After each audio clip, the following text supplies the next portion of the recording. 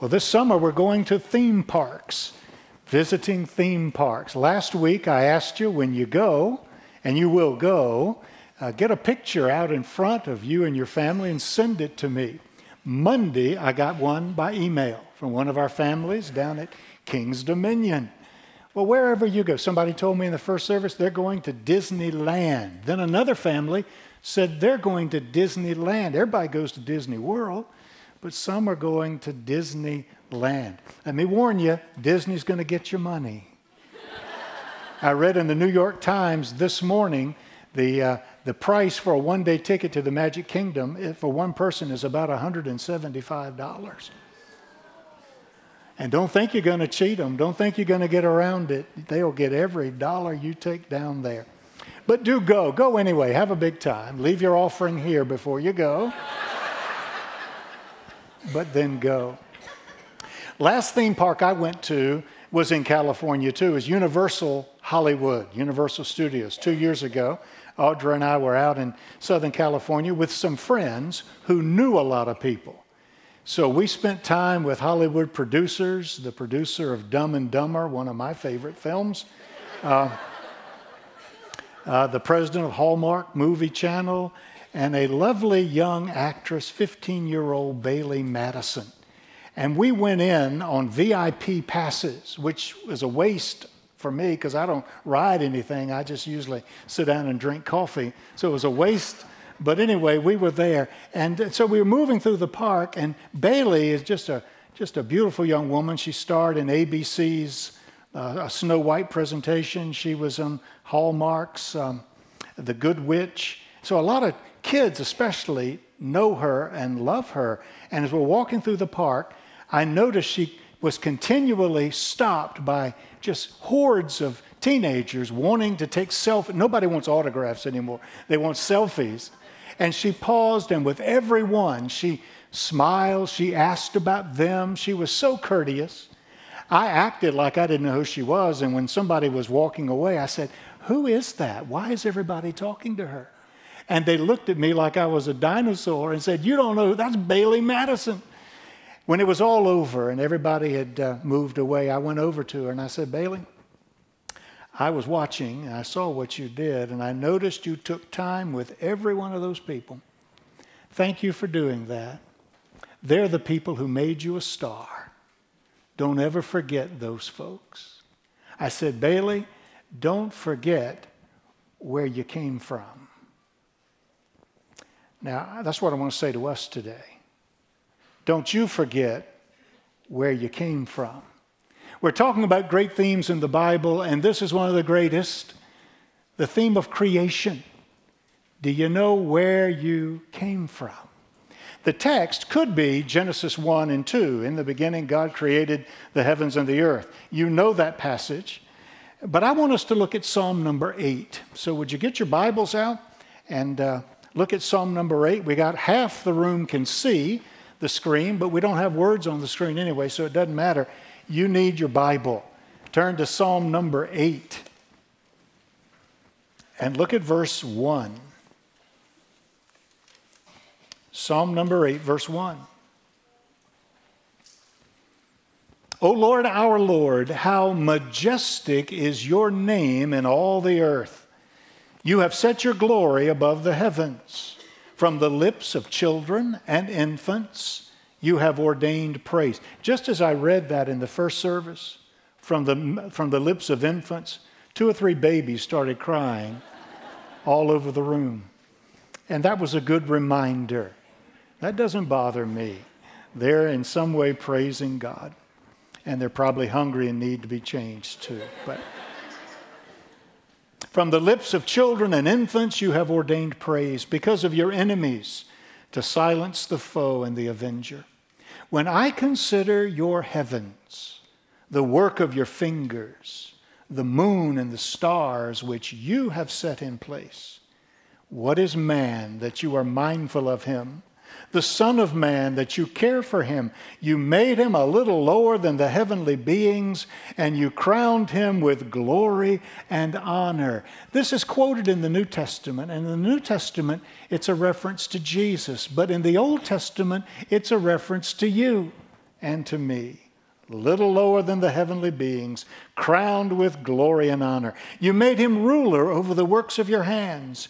You put everything under his feet all flocks and herds, and the beasts of the field, the birds of the air, and the fish of the sea, all that swim the paths of the seas. O Lord, our Lord, how majestic is your name in all the earth. The late Harvard paleontologist Stephen Jay Gould, many years ago, was quoted in, the, in Time magazine. He said this Humankind is a cosmic accident. We have no more, but no less, reason for existence than does the cockroach. That's a pretty pessimistic view, isn't it? A cockroach. I hope that's not the prevailing view, but I know many scientists do believe that there's really no mystery or magic to human beings. We're just further up on the evolutionary chain. I think there's got to be more to it than that. Many believe in the, uh, in the Big Bang, 13 to 15 billion years ago. From one speck of matter and some energy, there was an explosion, and everything that is came to be. The atheist has his own equation of existence. It goes like this nothing times nobody equals everything. Nothing, that's what we start with, times nobody, there's nobody out there guiding this, equals everything. That takes a lot of faith to believe, it seems to me. I like what we believe better. And we believe it by faith. But it makes sense, doesn't it? That God created everything there is in the universe. He created the universe and all that is within it. Genesis chapter 1, verse 1 In the beginning, God created the heavens and the earth. Somebody has said that if you can believe that one sentence, the first sentence in your Bible, then you shouldn't have trouble believing anything else that's in the Bible. Because at the very beginning of time, there was God already there, and He created. He created everything that is out of nothing, absolutely nothing. And so it all came to be. No, we're not uh, equal to cockroaches, and we're not accidents, we're not afterthoughts of the divine. No, God deliberately created us. He made you he set out to create you, and He did it in love. Three things I want to say about this. We'll put them out there, and you can think about them this week. Number one, we need to contemplate God's plan. Contemplate His plan. Think about it. What was God doing? Psalm 139, verse 14 says, We are fearfully and wonderfully made. And what the writer in Psalm 8 is saying is, we are the crown of God's creation. On the sixth day, he created man, and then he rested, not because he was tired, but because he had finished his work. And he was setting a pattern for us that one day out of the seven, we need to stop and rest. Fearfully and wonderfully made. Look at Genesis 1 and look at verse 26. Very important statement about where you came from. Chapter 1, verse 26. Then God said, Let us make man in our image, in our likeness, and let them rule over the fish of the sea and the birds of the air, over the livestock, over all the earth, and over all the creatures that move along the ground. So God created man in his own image. In the image of God, he created him. Male and female, he created them. You're made in the image of God. That's not something that's going to show up on an autopsy or in an EKG. It's certainly not a reference to skin color or anything like that. But what does it mean to say that we are created in the image of God? Well, I don't know all the answer, but I got part of it, and I want to give it to you. First of all, God is a Trinity, and so are we. Trinity. We sang it this morning. God is Father, Son, and Holy Spirit, three and yet one, and so are you. 1 Thessalonians chapter 5 verse 23 Paul is praying that God would sanctify us through and through body, soul, and spirit. That's your trinity. Body, you know what that is. Everybody sees it. Body, soul, that's you beneath the skin. That's the real you. That's your mind, your will, and your emotions. Spirit. Sometimes soul and spirit are used interchangeably, and we talk like that, but I think it's different. You're a body, you're also a soul, but deep in the center of who you are is spirit. That's the place God designed just for Himself. That's where He wants to come and live. And when you give your life to Christ, the Spirit of God comes to live in your spirit, and you are whole. God's a Trinity, and so are we. Something else? God is a personality, and so are we. He's a personality. He has a mind, He has a will, He acts, He has emotions. God feels things. Do you know it's possible for you to grieve God? Yeah, the Bible says that. As great and powerful as He is, you can cause grief when you reject Him, when you, when you disobey Him. That grieves His Spirit. He's a personality, so are we. We have the ability to contemplate our existence. No other mammals do that. To actually think about ourselves. That's personality. Something else. God is a moral being, and so are we. Moral, having the ability to distinguish between right and wrong. All of us have that. As I said last week, sometimes our consciences have been seared because of sin. We've just done something so, so long and so often we, we don't feel it anymore, but still, deep inside, there's a sense of right and wrong. There's a, there's a craving for justice. When somebody, even a child, says, but that's not fair, where'd they get that? God is a moral being, and so are we. God is spiritual, and so are we. We're the only creatures made by God that can contemplate God. That praying mantis is not really praying. But you are, I, I hope, when you bow your head and you lift up a prayer. You have the ability to talk about God and the ability to talk to Him. You're spiritual. God is creator. That's the very first thing we learn about Him. Page one of the Bible. In the beginning, God created. Well, you can create too. Not in exactly the same way. What God made, He made out of nothing. He created, there was nothing, and then God, then God made it happen. We don't have that ability. But we take the, the raw materials that God has provided us, and we can make things too. We can take clay or wood, we can take words or musical notes. We can take the things God gives us and we can create. And I want you to hear this. I don't think you're ever more godly than when you are creating something. God put that in you. And you've got something you can do. Regardless of your age, find it and begin to use it to write, to sing, to dance, to mold, to sculpt. Do something creative because you give glory to God when you do. He is a creator and so are we. And one more thing the Bible says in Genesis 1, verse 2, that the Spirit of God brooded upon the waters. And we do that too. There was chaos at the beginning, and God wanted to bring order out of it. And we have that desire for there to be order and peace in the world. That comes from God.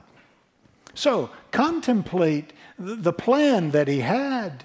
We're the crown of his creation, created in his image. And even though sin enters in Genesis chapter 3, and uh, the snake makes his appearance, and sin enters the human race, even though that happened, and, the, the image of God in our lives has been broken.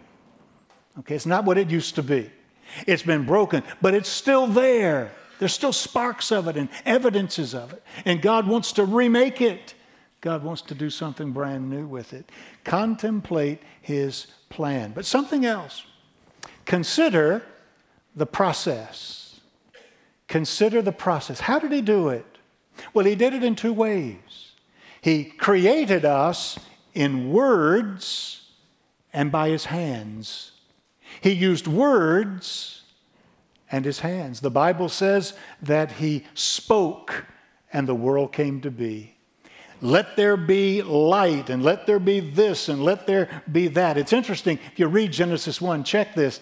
He, he talks about the, the light of the day and the light of the night, but he doesn't, he doesn't call them by their names, the writer. Doesn't say the sun and the moon. That's obviously what he's talking about. But he doesn't give them that much credence because in the ancient world, people were worshiping the sun and others were worshiping the moon. And the writer of Genesis 1 wants us to know only God is worthy of our worship. So they're lights. They're lights out there. But he spoke and they came to be. When I uh, marry young folk and, or any age folk, I always say this. I believe it with all of my heart, and I want to remind people of it that God creates with words, and He's still doing it. Still doing it. Because a couple will stand there, you've seen it, you've done it. They say some words, I say some words, and God puts His hand upon the, the matter, and something that has never existed before suddenly comes into being. Right before our eyes, poof, there it is, with words. That's how God creates. By the words of the Lord, the Bible says, the, the heavens are made. By the breath of his mouth, the stars in the sky. Psalm 33, verse 6. He does it with words. You know, words can be powerful. This is not one of the themes I'm going to be talking about this summer, but it probably ought to be. Words have the power to create relationships. Words have the power to build up. Try it sometime. Try it today when you're encountering somebody serving you in a restaurant or somebody behind the, the uh, desk in a store and the person in front of you is just, is just all over them about some infraction. And then you step up and with a big smile on your face, encourage them. Notice the change, how their countenance lifts. It will make their day, it might make their week, it could make their life and you've given them life by your words. You know where I learned that? I learned it from our former pastor, Jay Wolf. You remember Jay? You've been here a long time. I've known him for years. I knew him before I came here. And I would watch him. I would watch him interact with people. And every person I ever saw him talk to, he'd look them in the eye, he'd smile, and he'd say something positive about them and I would see the change come across their face. I thought I could learn to do that. I need to do that. We can all learn to do it if we'll use words that are positive and build up. That's what God did. He created by saying it, but He also used His hands. And so the Bible speaks of Him taking the clay of the earth and fashioning man and then he said, It's not good that man should be alone. I will make a helper exactly right for him. And God then performed some surgery on Adam and took from his side. And when Adam finally woke up from the anesthesia, he looked over and he saw the most beautiful woman he had ever well that goes without saying he, he saw he saw this beautiful creature and he said wow this is it this is exactly what i've been waiting for God did it with his hands. So, with words and with hands, God creates. And He created you a little lower than the heavenly beings, but He crowned you with glory and with strength. One more thing before we go. We need to be clear about what God's purpose was in all of this. God's purpose. It's not right to say that God needed us. I don't think we need to say God needed anything. He is perfect within himself. But the scripture does say that we exist for his sheer pleasure. He made us because He wanted to make us. He made us because of the great love that He had to share. He created you that He might love you. He created you and me so that we might serve Him and accomplish His purpose in the world.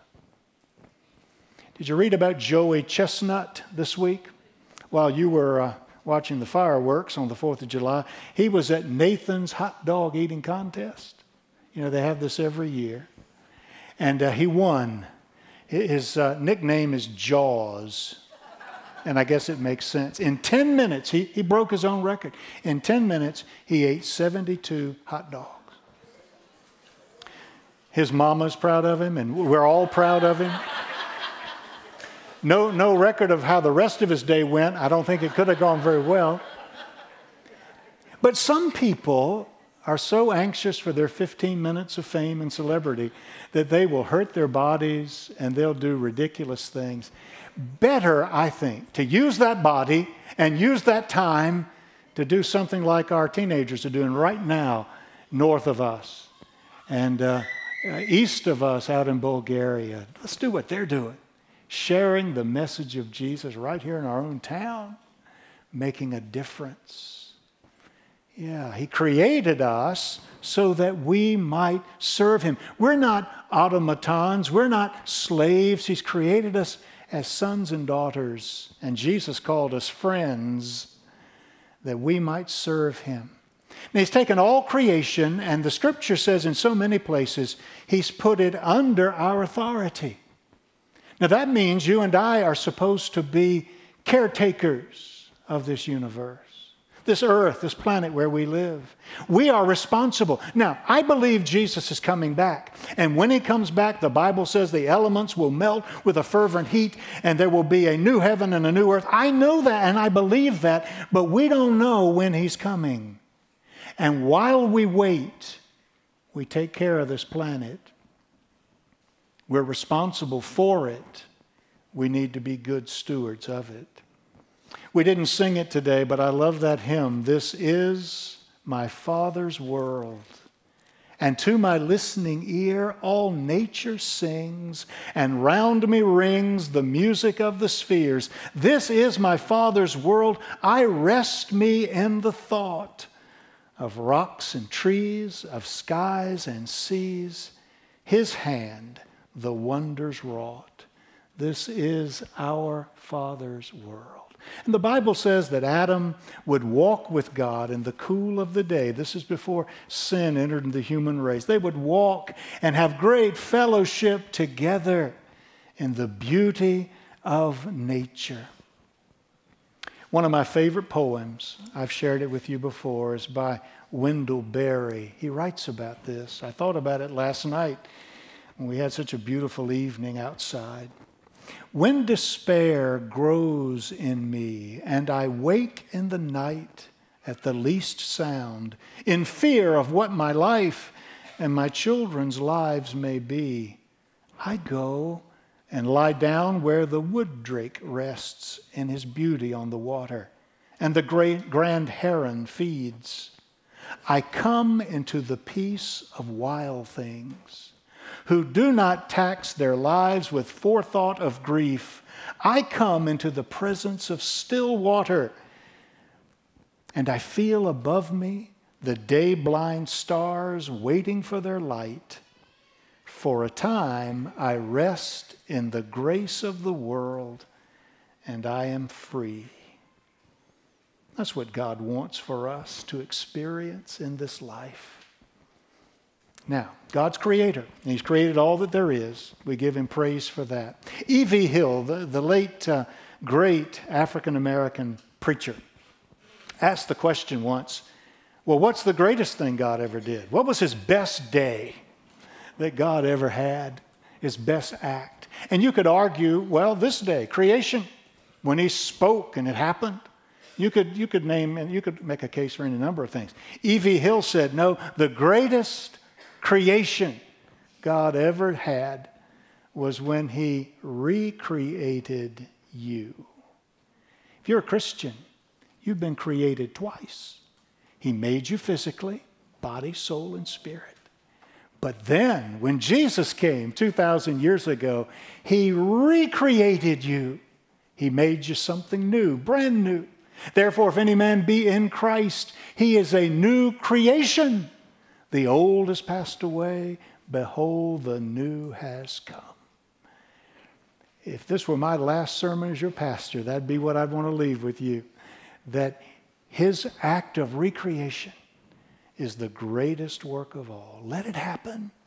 Let it happen to you by putting your faith and trust in Christ today. Okay? Let's bow our heads together. Father, we ask now that you speak to our hearts and that you draw us to yourself. May your will be done in these moments. We pray in Jesus' name. Amen. I'm going to be right here at the front on the floor. And if you, if you today are ready to profess your faith, you have put your faith in Christ, but nobody knows it. You step out and come, and we'll baptize you some Sunday in the future. If you are a Christian and want to be a part of this fellowship, and you've been baptized by immersion, you come on. We would love to have you be a part of First Baptist. Let's stand and we sing.